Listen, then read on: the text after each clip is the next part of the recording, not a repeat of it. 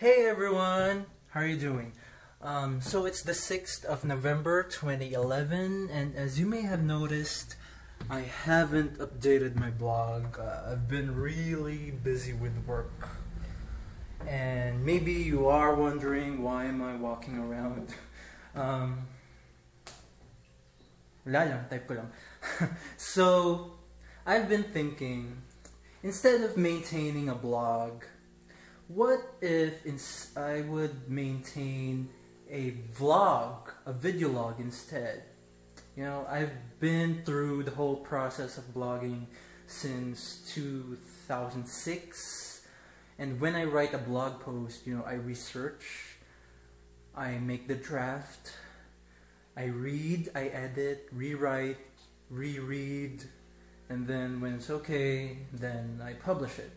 And it's really a painstaking process.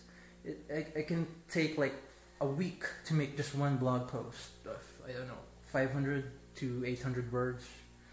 And I would like to try out vlogging because the way I see it, it's like it's easier.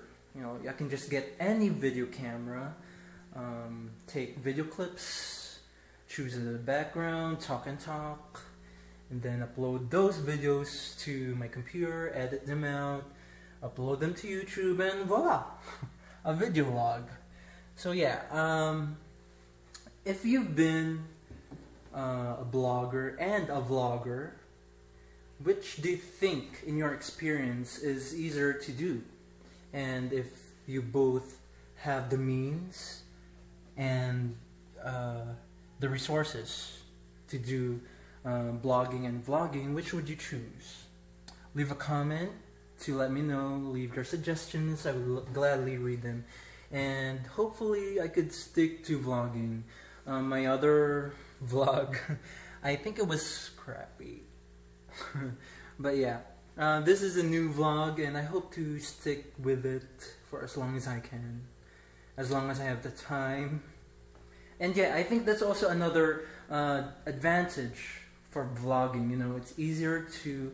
Be, uh, it takes. It can take a uh, just a um, small amount, small time, small period of time within your busy schedule, and to make a vlog instead of making a blog, which, well, for me, takes one week to make.